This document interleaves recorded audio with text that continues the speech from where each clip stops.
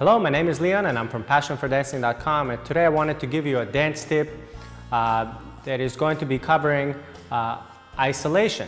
So basically when you're doing uh, some kind of a Latin dance movement like a cucaracha step or uh, just a simple walk, um, you want to isolate different parts of the body. We don't move everything at once. I'll give you a quick example. So if you do the Cuban rock or a side rock, if I'm gonna do it here, as you can see, I'm concentrating on moving my hips, but I'm not moving everything else at the same time, yes? If I did, it would look like this. See, now I'm moving my hips and my shoulders at the same direction, yes? So what I really want to make sure is that I isolate the hip area from the upper body in this case. So it helps to bring the, the arms out so you have a nice frame. And then when I do my hip action, I'm just focusing on bringing my hip forward and around, forward and around, forward and around, forward and around. And I'm trying to do it against my arms and my shoulders, yes? And um, this is a mistake that we see a lot of people is they're trying to move everything together and then it doesn't look good, yes?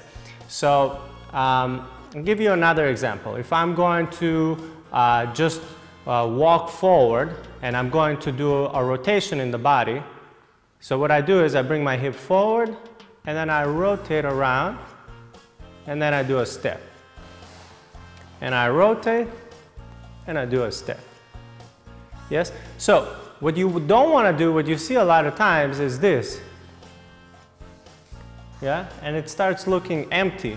The reason is because there is no opposition. You need to isolate, again, different parts of the body. So again, in this case, the only thing that's really rotating is my hip, my leg around my spine, but nothing else. Yes? So again, trying to keep the upper torso very still and rotate against it as much as you can, and then you can take a step.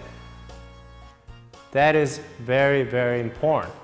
Or on a figure like the crossover breaks or New Yorkers, it's also called. So if I'm gonna go forward here versus,